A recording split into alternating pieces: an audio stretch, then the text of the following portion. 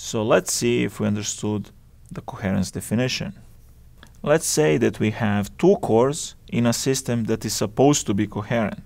Let's say that core 1 executes this program.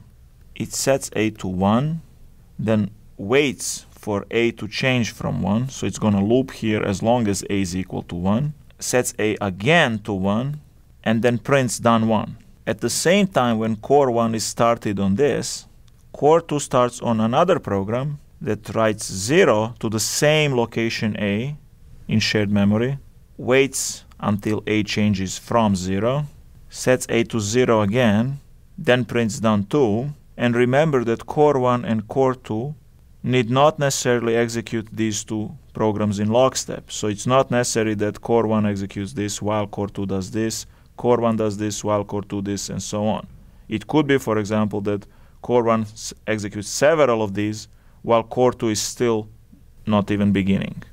So you can insert arbitrary delays in between any of the statements here and here. The question for you is which of the following printouts are possible? First, core 1 prints done 1, then core 2 prints done 2. The next possibility, first core 2 prints done 2, then core 1 prints done 1. The next option, core 1 prints done 1, but core 2 gets stuck and never gets to print done 2. The next option is core 1 gets stuck and never gets to print done 1, but core 2 successfully prints done 2. And the final option is that nothing is printed because both of the cores get stuck, so neither of them prints anything ever. So which of these five options are actually possible when these two programs run in a coherent system?